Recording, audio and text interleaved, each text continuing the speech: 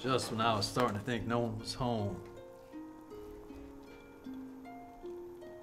Could I help you? Seems awful dark inside, even with the blinds drawn.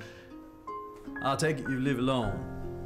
Missing that uh, feminine touch. Scent of a woman is a powerful thing, you know. I'm not interested. Oh, uh, my apologies, friend. Forgive me if my manner seems somewhat uh, invasive. Truth is, I've traveled a long way to be here this afternoon. Call me Dickens.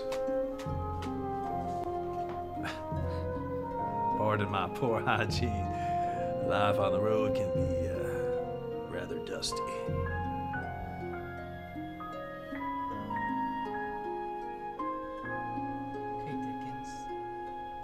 That's your name.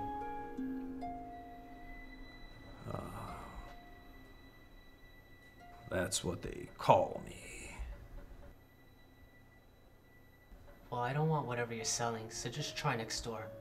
Oh, well, I, I tried next door, but uh, that man is stubborn. I mean, pardon my French, but he's about as charming as a can of smashed assholes, if you know what I mean. Men like that haven't any patience. Right.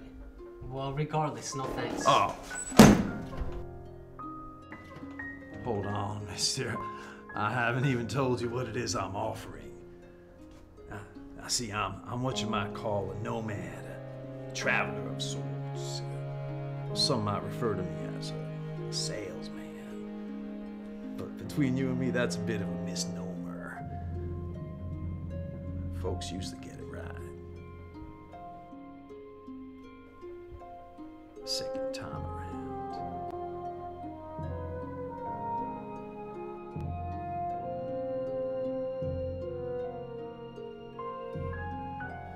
Cerulean.